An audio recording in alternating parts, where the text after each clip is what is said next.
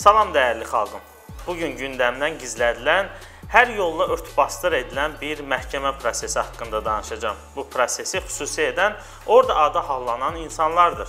Bakı Ağır Cinayətlər Məhkəməsində hakim Azər Paşayevin sədrliyi ilə Azərbaycan Respublikası prezidentinin ictimai siyasi məsələlər üzrə köməkçisi Əli Həsənovun həyat yoldaşı Sona Vəliyevanın təsisçisi olduğu Kaspi Liseyi Ümumi Təhsil Məktəbi MMC-nin mühasiblərinin işi üzrə proses davam edir. İş üzrə müttəhimlər kürsüsünə liseyin baş mühasibi Tural Məmmədov və mühasib Fərahim Möhbalıyev çıxarılıblar. Onlar 2018-ci ilin oktyabrında Kaspinin Bakıxanov qəsəbəsində yerləşən filialından təhsil haqqı kimi ödənilən məbləğdən 565 min manatı mənimsəməkdə ittiham olunurlar. Встать! Суд идет! Да здравствует наш суд! Самый гуманный суд в мире! İttihamda yazılıb ki, 2018-ci ilin aprel-oktyabr aylarında 454 nəfər şagirdin təhsili üçün 1 milyon 366 min manat pul ödənilib. Ancaq bu vəsaitin 564 minini baş mühasib və mühasib sistemə daxil etməyib, millikdə mənimsəyiblər. Adları çəkilən şəxsləri Cinayət Məcəlləsinin 179.4 xüsusilə külli miqdarda ziyan vurmaqla mənimsəmə maddəsi əsasında ittiham verilib. Tural Məmmədov özünü qismən təqsirli bilərək deyib ki, pula ehtiyacı olduğundan vəsaitin bir hissəsini götürüb, amma məbləğ ittihamda yazıldığı kimi 565 min olmayıb. Rəqəm bundan 2 dəfə azdır. Stat. Oktyabrın 16-sında təsisçi Sona Vəliyeva məni xidməti otağına çağırıb 565 mini götürüb götürmədiyimi soruşdu. Dedim ki, təxminən 350 min götürmüşəm. Liseydə araşdıranlar düz hesablamayıblar. Sona Vəliyeva dedi ki, əgər ona 565 minin hamısını özümün mənimsəməyim barədə ərizə yazıb versəm, polisə şikayət etməyəcək. Dedi ki, həyat yoldaşım Əli Həsənova da məlumat vermişəm, polis çağıracaq. Ona inanıb dediyi kimi izahat yazdım. Pulu ödəmək üçün də 1 il möhlət verməsini xahiş etdim. Məni aldatdı. Az sonra polislər gəldi. Digər təqsirləndirilən Fərahim Möhbaliyevin onunla əlbir olmadığını deyən Tural Məmmədov deyir ki, pulun bir hissəsini şəxsi problemlərinin həllinə, qalanını da Tatlı Dünyası Şirniyyat evinin təmirinə xərcləyib. Fərahim Möhbaliyev isə özünü təqsirli saymır. Tural Məmmədov və Fərahim Möhbaliyevin təqsirləndirildiyi Cinayət Məcəlləsinin 179.4 maddəsində 10 ildən 14 ilədək həbs cəzası nəzərdə tutulub. Qayıdaq biraz əvvələ. Daha dəqiq desək, buna qədər olan məhkəmə iclaslarına. Avqustun 16-sında məhkəmədə prezidentin köməkçisi Əli Həsənovun həyat yoldaşı Sona Vəliyeva və onun yaxınları haqqında sərt ittihamlar səsləndi.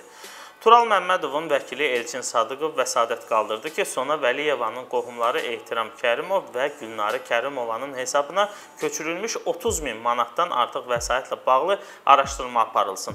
Stat. İddia olunur ki, pullar bu adamların hesabına köçürüləndən sonra çıxarılıb nağd şəkildə Tural Məmmədova qaytarılıb. Tural da deyir ki, yalandır. Mən almamışam. Ona verildiyini təsdiqləyən heç bir sübut yoxdur. O pullar da indi Tural Məmmədovun üzərinə qoyulub və ittihamda yer alıb. Ona görə də məhkəmə mütləq bu məsələni araşdırmalıdır. Statın sonu. Ancaq məhkəmə bu məsələni araşdırmaqdan imtina edib və vəsadəti təmin etməyib. Burada heyrətlənəcək heç nə yoxdur. Çünki ortada Əli Həsənovun təsir gücü var. İstər məhkəmələrə, istər güc strukturlarına. Tural Məmmədovun tanışı Toğrul İsmailov da məhkəmədə şahid kimi dindirilib. Turalın 3 avtomobili onun adına olub. Tural deyir ki, bu avtomobillərin üçünə də eyni vaxtda sahiblənməyib. Birini alıb, bir qədər sürüb satıb, başqasını alıb. Bildirdiyinə görə özü Naxçıvan qeydiyyatında olduğuna görə maşını bu tanışının adına alıb. Şahid də Turalın dediklərini təsdiqləyib. Deyib ki, avtomobillər onun adına olsa da Tural özü idarə edirdi. Tural Məmmədovun sözlərinə görə onu və Fərahimi Daxili İşlər Nazirliyinin baş mütəşəkkil cinayətkarlıqla mübarizə idarəsinə aparandan bir qədər sonra bu şahidi də tapıblar. Hədə-qorxu ilə onun avtomobillərini Sona Vəliyevaya yaxın şəxslərin adlarına keçiriblər. Stat. Dediyim kimi mən birini satıb başqasını almışdım. Baş etibarnamə ilə satmışdım. Toğrulu məcbur ediblər ki, adında olan maşınların hamısını onların adına keçirsin. Təsəvvür edin, mənim çoxdan aldığım bu işlərə heç bir aidiyyəti olmayan başqasına satılmış maşını belə zorla özlərinki ediblər. 2016-2017-ci ildə alınmış avtomobilin bu işlərə nə aidiyyəti var ki, zorla əllərindən alınır. Məlumat verilib ki, həmin avtomobillər hazırda Kaspinin balansındadır. Toğrul İsmailov da təsdiqləyib ki, ona Kaspinin əməkdaşları zəng eləyib, adında olan Turala məxsus avtomobilləri gəlib notarial kontorunda deyilən adamlara vermək tələb olunub. Təqsirləndirilən şəxslər deyiblər ki, məhkəmə qərarı olmadan başqasının əmlakını zorla əlindən almağın özü də cinayətdir. Onlar bildiriblər ki, Əli Həsənov ilk gündən bu işin obyektiv araşdırılmasına imkan verməyib. Bu zaman zərər çəkmiş qismində tanınan Kaspi liseyi və liseyin direktoru Elnur Əliyevin vəkilləri ilə təqsirləndirilən şəxslər arasında mübahisə yaranıb. Burada artıq əskik danışmaq lazım deyil adını çəkdiyin adamın çörəyini siz yemisiniz deyən müdafiə tərəfinə təqsirləndirilən şəxslərin cavabı belə olub. O da dövlətin malını yeyib, yoxsa 50 milyonluq əmlakı necə tikdirib? Belələrinə nad vermək olar. Qrabitel, tüfeyli. Təqsirləndirilən Tural Məmmədov Əli Həsənovun əvvəl istintaqa, indi də məhkəməyə təsir göstərdiyini söyləyib bildirib ki, işin obyektiv araşdırılması baxımından çox vacib olan vəsadətlərin heç birinin təmin olunmaması da bunun bariz nümunəsidir. Stat Bu iş birbaşa Əli Həsənovun tapşırığı ilə düzgün araşdırılmadı. Siz də davam etdirirsiniz, vəsadətlərinizi qəbul etmirsiniz. Həbs olunan kimi banditizmdə Turala 20 min nağd pul ödətdiriblər. Maşını da 25 min qiymətləndiriblər. Ancaq bu ödənilənləri mənimsəndiyi iddia olunan məbləğdən çıxmayıblar. Bunu isə Fərahim Möhbaliyev deyib. Tural Məmmədov da əlavə edib ki, Əli Həsənov və onun yaxınlarının əməlləri barədə prezidentə göndərilən məktubları aparıb Əli Həsənovun özünə verirlər. Elə bil Süleyman İsmailov Əli Həsənovun işçisidir. Nə məktub göndərirsən, Əli Həsənovun stolunun üstünə gedib çıxır. Elnur Əliyev deyirdi ki, hara istəyirsiniz şikayət eləyin, ölkənin sahibi bizik. Qorxdum ha, qoymayın ha. Ha millət qoymayın ha, ürəyim getdi qorxudan üstümə irasim gəlir ha. Əli Həsənovun oğlu bircə gün əyninə hərbi forma geyinməyib. Ona hərbi bilet necə verilib? Bizə cinayətkar deyənlər əvvəl özlərinə baxsınlar. Statın sonu. Məhkəmədə zərər çəkmiş tərəf kimi Kaspi liseyinin və direktor Elnur Əliyevin nümayəndələri iştirak edir. Onlar Əli Həsənov və Sona Vəliyeva haqqında ittihamlara birbaşa cavab verməyiblər. Liseyin direktoru Elnur Əliyev isə daha öncə iyulun 26-sında məhkəmədə dindirilərkən polisə özü şikayət etdiyini söyləyib. Ötən ilin martından liseyin direktoru olan Elnur Əliyev bildirir ki, baş mühasib kimi həmişə Tural Məmmədovun işindən narazı qaldığından Sona Vəliyevaya onu işdən çıxarmağı təklif edib, amma Sona Vəliyeva razılaşmayıb. Stat. Ondan tam hesabat ala bilmirdim. Hesabatlar kəllə mayallaq olurdu. Təsisçiyə deyirdim ki, işdən çıxaraq razılaşmırdı. Deyirdi ailəsi var. Axırıncı dəfə keçən il məzuniyyətə gedəndə dedim ki, mən gələnə qədər işləri sahmana sal. Gələndə araşdırdım, 140 min kəsir aşkar elədim. Təsisçi yenə işdən çıxarmaq istəmədi. Dedi ki, şirkətin ofisində işlə təmin edək, maaşı olduğu kimi qalsın. Təsisçinin bu adama simpatiyası vardı. Doğma adam kimi yanaşırdı. Elnur Əliyevin sözlərinə görə baş mühasibi bu vəzifədən çıxarıb ofisdə işə göndərməzdən öncə ondan kassanı təhvil verməsini istəyiblər. Öncə 140 minlik kəsir aşkarlanıb. Daha sonra komissiya yaradıblar, audit yoxlaması keçilir və 564 min manatın yoxa çıxdığı üzə çıxıb. Təqsirləndirilən Tural Məmmədov bildirib ki, kənardan audit çağırılmamışdı. Yoxlamadan ötürü çağırılanlardan biri Xətai klinikasının müdiri idi. Məhkəmədə dindirilmə vaxtı direktordan liseydə maaş ödənişi zamanı qanunsuz hallar haqqında soruşulub. Sual verilib ki, niyə işçilərin maaşının 90%-i nağd, cəmi 10%-i rəsmi şəkildə kartla ödənilirdi? Mən 2018-ci ilin martından direktoram. Bu vəzifəyə gələndən sonra da ancaq keçmiş ilin kəsirləri ilə məşğul olmuşam. Əgər əmək haqqı düzgün şəkildə verilməyibsə, bu baş mühasib Tural Məmmədovun səhvi olub. İndi əmək haqqları şəffaf şəkildə kartlarla verilir. Direktorun cavabı belə olub. Mənə ha bu. Yalansa fransız ki ilan vursun dilindən. Tural Məmmədov ona etiraz edərək bildirib ki, vergidən yayınmaq məqsədi ilə maaşların 90%-nin nağd verilməsi təsisçinin göstərişi idi və direktor kimi Elnur Əliyevin də bundan xəbəri vardı. Stat. Mən öz başına belə bir iş görə bilməzdim axı. Mənə deyilmişdi ki, 5000 manatdan yuxarı bütün xərclər Elnur Əliyevə deyilməlidir. Maaşlarda aylıq 80 min manatdan söhbət gedir. Bunun 22 mini rəsmi qaydada kartla, qalanı qeyri-rəsmi verilirdi. Statın sonu. Sabiq baş mühasibin sözlərinə görə o kassaya yığılan pulları gün aşırı təsisçi Sona Vəliyevaya təhvil verir və onun otağında direktorun da iştirakı ilə vəsaitlər sayılırdı. Tural Məmmədov deyir ki, təhsil haqqı ödənişi barədə kassa mədaxil qəbzləri deyil, liseyin daxilində hazırlanmış qəbzlər verilirdi. Güya yoxlamada 714 qəbzdə yazılanlar əsasında hesablama aparıblar. Yalandır. Kassa mədaxil qəbzləri deyildi, daxili ödəniş qəbzləri idi. Nağdsız ödənişlərə keçid barədə prezidentin 16 dekabr tarixli fərmanı olmuşdu. Onda bizə göstəriş verildi ki, uyğun bankları müəyyənləşdirək. 5 bank tapdıq. Aralarında Paşa Bank da vardı. Sona Vəliyeva dedi ki, Paşa Bankda pulumuz olsa deyəcəklər Heydər Əliyev fonduna pul köçürün. Mənimsənildiyi iddia olunan vəsaitlərin bir hissəsinin ödəyiciləri liseyin müəllimləri olub. O müəllimlər ki, övladları da orada təhsil alır. Onlar bildirir ki, hər ay maaşlarını alanda övladlarının təhsili üçün ödəməli olduqları aylıq məbləği onlardan çıxırdılar.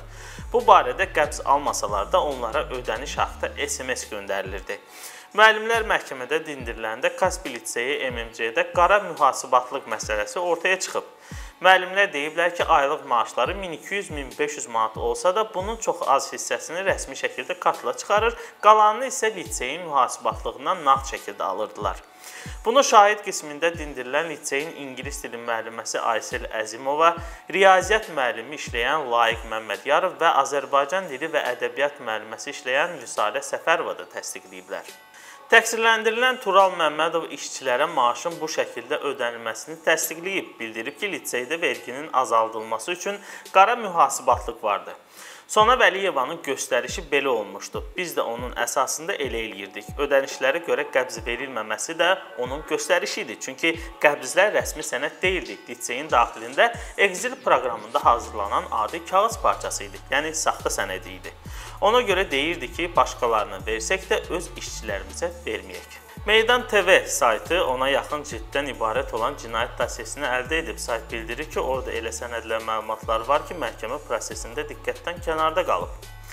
Cinayət dosyesinə müstəntiqlərin əlavə etdikləri, lakin diqqətə alınmayan Tural Məmmədova məxsus üzərində Cipsim yazılan qara mühasibatlıq kitabı da var.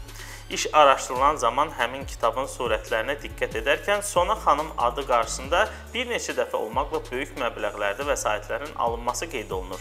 Tural Məmmədov ibtidai istintaq zamanı ifadələrində bildirib ki, Kaspi Liseyi Ümumi Təhsil Məktəbi MMC-nin təsisçisi, Azərbaycan Respublikası Prezidentinin ictimai siyasi məsələlər üzrə köməkçisi Əli Həsənovun həyat yoldaşı Sona Vəliyeva müəyyən zaman fərqi ilə ayda bir neçə dəfə olmaqla ondan mühasibatlığa daxil olan məbləğlərdən müəyyən hissələr alıb. Məsələn, 2017-ci ilin 13 noyabr tarixində Tural Məmmədov Sona xanıma 6500 manat, bir gün sonra isə 2000 manat ödəyib. Bir ay sonra isə Sona xanıma 15000 manat verildiyi kitabda qeyd olunub.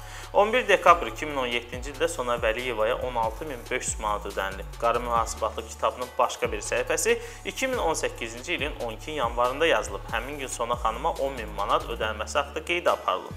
2018-ci il martın 2-sində Sona xanıma 10210 manat, həmin ilin sentyabrında 14600 manat, oktyabrın 11-də 6000, 12-sində isə 7000 manat ödənildiyi qeydlər aparılıb. Cipsim adlı qara mühasibatlıq kitabında belə qeydlər çoxdur. Yazılanlardan belə anlaşılır ki, həmin məbləğləri Tural Məmmədov şəxsən Sona xanıma əlbəəl verib. İş üzrə həbsdə olan digər mühasib Fərahim Möhbalıyev də dindirilərkən məktəbdə təhsil haqqı kimi toplanan vəsaitlərin Sona Vəliyevaya verilməsini qeyd edib. Sayt qeyd edir ki, iş materiallarında Kaspi Liseyi Ümumi Təhsil Məktəbi MMC-də valideynlərdən təhsil haqqı kimi toplanan böyük vəsaitlərin Sona Vəliyevaya ödənməsi haqqında qeydlər olan kitabların səhifələrinin surətləri var.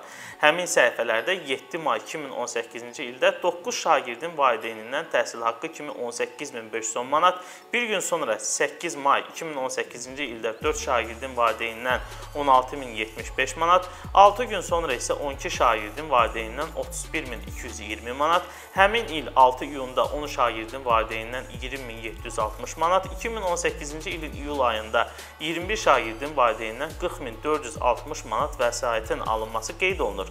Hər bir səhifədə Tural Məmmədovun adı qarşısında təhvil verdi sözləri yazılıb və onun imzası atılıb. Sona Vəliyevanın adı qarşısında isə təhvil aldı sözləri qeyd olunub və yenə də imza atılıb.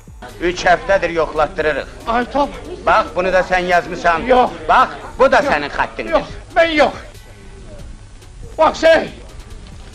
Ay cemaat. Evimi yıktılar. Bana, bana kömək eləyin. Neynək? Buradakı boynunu almırsan, göndərərik şahid sübutla boynuna qoyarlar. Hər iki təqsirləndirilən şəxs məhkəmədə Kaspi Liseyi Ümumi Təhsil Məktəbi MMC-də qara mühasibatlığın müvafiq olaraq vergidən yayınmanın olması haqqında məlumatlar verir. Dövlət qurumlarının həmin məlumatları araşdırmasını tələb edirlər. Onu da əlavə edək ki, ittiham olunan Fərahim Möhbalıyevin anası Ana xanım Sultanovanın prezident İlham Əliyevə ərizə ünvanlayaraq liseydə 2016-2017-ci illərdə 10 milyon 500 min manatın mənimsənilməsi haqqında məlumat verilib. Oğlunun azad olunması üçün ölkə başçısından kömək istəyən Ana xanım Sultanovanın ərizəsi də cinayət işinə əlavə edilib. Onu da əlavə edək ki, media sahəsinə nəzarət edən prezidentin ictimai-siyasi məsələlər üzrə köməkçisi Əli Həsənovun biznes şəbəkəsini onun həyat yoldaşı və oğlu idarə edir. Həyat yoldaşı Sona xanım Kaspi qəzetinin təsisçisidir.